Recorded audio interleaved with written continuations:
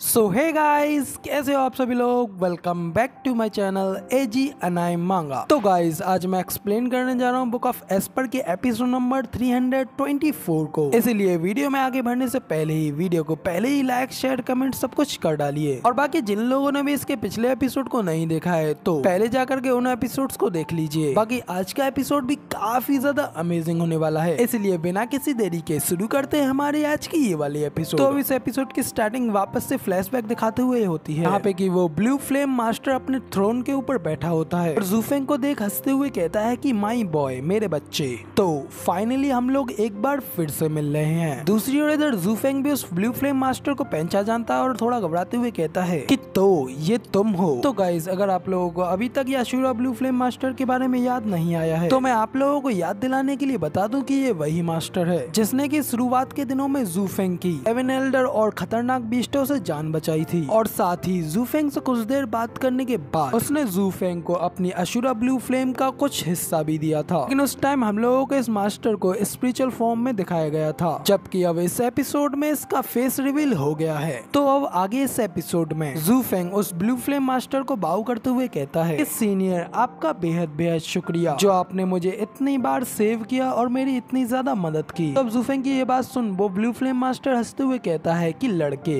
मैंने तो तुम्हें सिर्फ़ एक ही बार सेव किया था और वो भी काफ़ी पहले जब तुम घायल थे और उन वुल्फों के झुंड के बीच में फंस गए थे। इसके अलावा मैंने तो तुम्हें कभी सेव नहीं किया। तो आखिर तुम ऐसा क्यों कह रहे हो कि मैंने तुम्हारी कई बार जान बचाई है? तो जूफेंग कहता है कि क्या आप नहीं जानते? जब सीनियर ने मुझे अपनी अशुरा ब्लू फ्लेम दी थी तो इस जूनियर ने आपकी उस अशुरा ब्लू फ्लेम का अपनी जान बचाने के लिए कई बार यूज़ किया है। तो ये चीज़ भी बिल्कुल ऐसी ही है जैसे की सीनियर ने खुद आगे आकर के मेरी जान बचाई हो। इसलिए मैं आपके इस फेवर को कभी भी नहीं भूलने वाला। तो ब्लू फ्लेम मास्टर कहते हैं कि कोई बात नहीं, मैंने तुमसे कभी भी इस सब के लिए पे बैक करने के लिए नहीं कहा है। और तुम क्यों ना उस ब्लू फ्लेम को मेरे सामने मुझे दिखाने के लिए बाहर निकालो। अब ब्लू फ्लेम मास्टर की ये बात सुन करके जूफेंग अपनी ब्लू फ्लेम को बाहर निकालने के लिए चुटकी बजाते हुए अपने मन में सोचता है की आखिर इसका ये सब कहने का क्या मतलब है? मगर लेकिन क्या ही कर सकते हैं? मैं फ़िलहाल इसके सामने बिल्कुल भी रजिस्ट करने की हिम्मत नहीं कर सकता। फ़िलहाल तो मुझे इसकी बात मानते हुए इसके साथ चलना होगा और देखना होगा कि अब आगे आखिर क्या होने वाला है। ना सोच करके जूफेंग अपनी चुटकी बजाता है और जूफेंग की चुटकी बजाते ही उसकी उंगलियों के बीच में छोटी सी अशूरा ब्लू फ्लेम एक्टिवेट हो जाती है, जिसे देख वो ब्लू फ्लेम मास्टर भी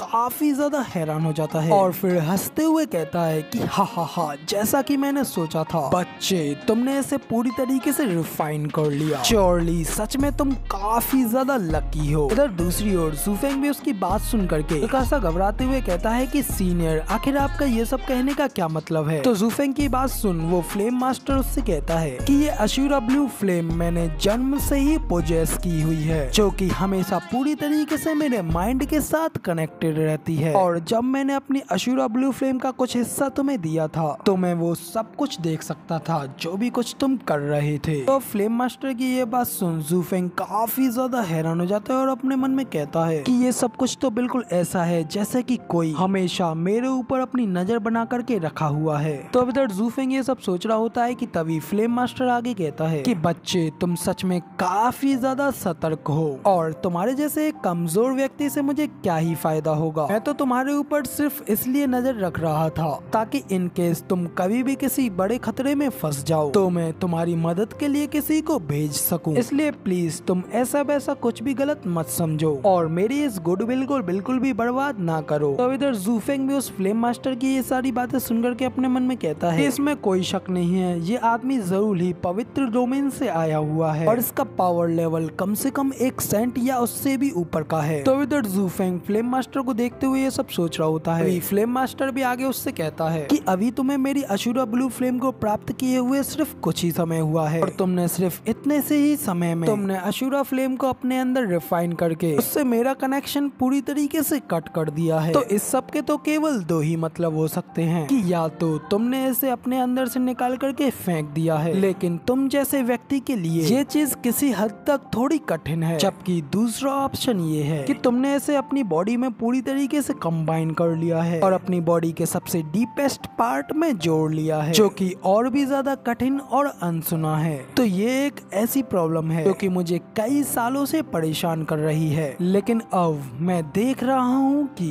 तुमने वास्तव में ये सब कर लिया है। बच्चे, तुम इसे पाकर के सच में काफ़ी ज़्यादा भाग्यशाली हो और इससे मैं सच में काफ़ी ज़्यादा आश्चर्यचकित भी हूँ। तो अब इसीलिए मुझे बताओ कि आखिर तुम किस ग्रैंड मास्टर के अधीन हो? तो इधर फ्लेम मास्टर की ये पूछते ही दूफेंग काफ़ी ज़्यादा हैरान और शौक हो जाता है। फिर वो कुछ देर सोचते हुए अपने मन में कहता है कि मेरे लिए बेटर रहेगा कि मैं इसकी साइड ऑफ़ कॉजन के लिए सावधानी बरतूं और इसे सब कुछ ब्रीफ और शॉर्ट में बताऊँ। और अब जबकि ये ब्लडी बेबी और पेट्रियाज ब्लड डीमन के बारे में ऑलरेडी जानता है तो इतना सोच करके जूफेंग पहले तो फ्लेम मास्टर को अपनी ग्रीटिंग शो कराता है और फिर उसे बताता है कि सीनियर मैं सीक्रेट डोमेन से आया हुआ हूँ। यानी कि पवित्र डोमेन से आया हुआ हूँ और मैं पेट्रियाज ब्लड डीमन का एक डिसेंडेंट हूँ। तब इधर जूफेंग की ये बात सुन। वो फ्लेम मास्टर उससे कहता है कि तुम बकवास कर रहे हो। पेट्रियाज ब्लड डीमन के लोग काफ़ी ज़्यादा स्ट्रॉन्गर हैं। लेकिन उनमें से केवल सिर्फ़ एक ही सेंट था, जिसने की ब्लडी बेबी की रिसर्च की परवाह की। और नौ साल पहले मैंने तुम्हें जिन स्किल्स का इस्तेमाल करते हुए देखा था। वो इतनी ज़्यादा इंट्रीगेट और जटिल थी कि वो किसी भी एम्पर के अंडर नहीं आ सकती थी।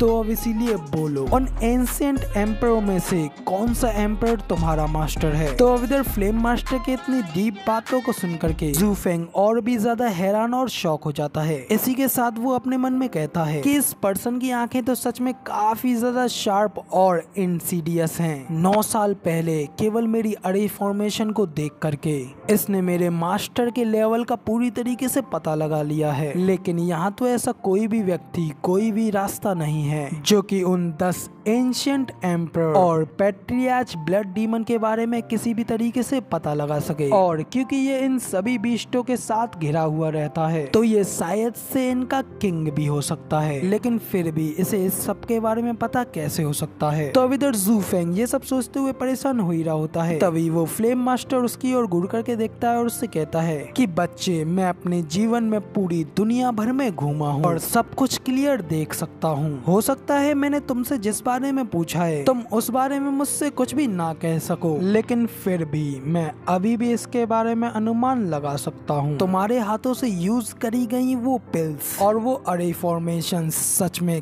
काफ़ी ज़्यादा मार्वलस थी। और जितनी ज़्यादा वो रेयर थी, उससे भी अधिक। तुमने ब्लडी बेबी को बनाने, उसे यूज़ करने में पूरी तरीके से मास्टर हासिल कर रखी है। और इस पूरे वर्ल्ड में सिर्फ़ एक ही ऐसा एम्पर था उसको कि इस हॉरिबल सीक्रेट आर्ट की पूरी नॉलेज थी। तो क्या वो वही पुराना सन की नाइन सैनिटरीज है? तो इधर भाई फ्लेम मास्टर की ये बात सुन करके तो भाई पूरी तरीके से छक्के छूट जाते हैं और वो काफ़ी ज़्यादा हैरान हो जाता है। फिर वो फ्लेम मास्टर को रेस्पेक्ट देते हुए कहता है सीनियर मैं आपकी इन ग्रेज आँखों को देख करके मैं काफ़ी ज़्यादा हैरान और आश्चर्यचकित हूँ। और हाँ मैं सच में नाइन सैनिटीज एम्पर का सक्सेसर हूँ। लेकिन मुझे कभी भी उनसे मिलने का मौका नहीं मिल सका। और इधर जूफेंग की ये बात सुन करके फ्लेम मास्टर उससे कहता है तुम्हारी ये बात सच में इम्पॉसिबल के काफ़ी ज़्यादा करीब है। क्योंकि जितना मुझे पता है मुझे लगता है कि अब तक वो ऑलरेडी मरने के बाद अंडरवर्ल्ड में चला गया होगा और अब तक एक गोस्ट भी बन गया होगा। और उस वक्त दसों एम्पर्स के टाइम पे हर एक एम्पर के पास अपनी एक यूनिक स्किल थी, जैसे कि हेवनली एम्पर आईज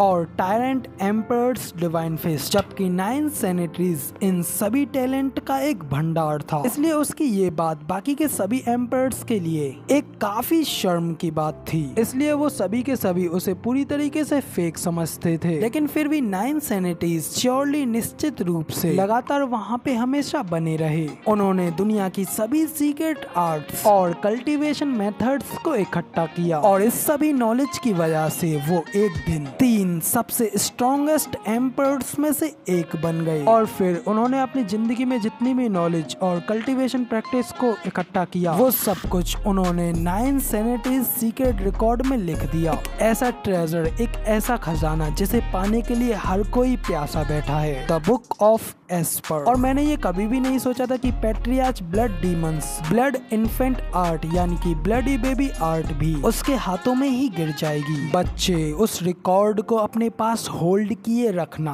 तुम्हें बिल्कुल दुनिया के सबसे brilliant gem library of secrets की तरह बना देगी। तुम्हारे हाथों में उन सभी दसों एम्पर्स की सभी की सभी स्किल्स होंगी। तुम्हें डाओ को समझने के लिए तुम्हें तुम्हारे रास्ते में सबसे बड़ी ग्रेटेस्ट ब्लेसिंग्स मिली हैं। तो अब इधर फ्लेम मास्टर की ये बात सुन करके जूफिंग आगे अपने मन में कहता है कि सिर्फ़ कुछ ही शब्दों में इन्होंने मुझे नाइन सैनिटीज सीक्रेट रिकॉर्ड के सभी होल्डर्स का ज्ञान करा दिया। और सीक्रेट डीमन वर्ल्ड में हर कोई इसके अंदर गया, जिसका के अंत मेरी अल्टीमेट मृत्यु के साथ हुआ। तो इधर जूफेंग, इतना सोचने के बाद फ्लेम मास्टर से कहता है कि सीनियर, आपकी टोन, यानी कि आपके बोलने के तरीके से मुझे लगता है कि आप उन सभी दस एम्पर से अच्छी तरीके से फेमिलियर हैं। इसलिए आपका उनसे इतना ज़्यादा परिचित होने की वजह से मैं काफ़ी ज़्यादा आश्चर्यचकित हूँ। तो इधर जूफिंग के इतना कहने के बाद फ्लेम मास्टर उससे पूछते हैं कि जब तुम लाइटनिंग कैनन में गए थे। तो तब तुम्हें वहाँ पे क्या मिला था? तो इधर जूफिंग फ्लेम मास्टर की ये बात सुनकर के और भी ज़्यादा हैरान हो जाता है। लेकिन फिर वो उसे बताता है की हाँ सीनियर मैं सच में वहाँ पे गया था। और सीनियर उस समय भी इस अशुरा ब्लू फ्लेम ने मेरी वहाँ उस लाइटनिंग कैनन की लाइटनिंग अरे फॉर्मेशन की लाइट से फाइट लड़ने में काफ़ी ज़्यादा हेल्प की थी। और मैं अभी भी नहीं जानता कि क्या सीनियर को पर्पल लाइटनिंग डिवाइन आईज चाहिए या मेरी divine eyes of the void तो अब इधर जूफेंग की ये बात सुनकर के फ्लेम मास्टर भी काफ़ी ज़्यादा हैरान हो जाते हैं। और फिर वो वहाँ पे ज़ोर ज़ोर से हँसते हुए कहते हैं कि बहुत अच्छे बच्चे। आफ्टर ऑल तुमने इसे आखिरकार फाइंड कर ही लिया। और मेरी असिस्टेंस और मेरी सहायता तुम्हारे ऊपर बिल्कुल भी बर्बाद नहीं हुई। तो अब इधर फ्लेम मास्टर यहाँ पे ये सब कहते हुए जोरों से हंस रहा होता है। अभी दूसरी ओर जूफेंग भी अपने मन में कहता है कि मुझे इस बात की बिल्कुल पूरी तरीके से श्योरेंस थी कि ये हेवनली एम्पर की ultimate skill divine eyes of the world को पाना चाहता है। लेकिन वो मेरी आँखों को नहीं निकालेगा, है ना? तो अब इधर जूफेंग के ये सब सोचने के बाद इधर दूसरी ओर वो अशुरा फ्लेम मास्टर उससे कहता है कि, बच्चे, क्या तुम ये नहीं जानना चाहते कि आखिर मैं कौन हूँ? और अब अगर जानना चाहते हो तो तुम अब खुशी से ये देखो। इतना कह करके वो फ्लेम मास्टर अपनी अशुरा ब्लू फ्लेम को फुल्ली अनलिस्ट करता है, जिस वजह से वहाँ पे एक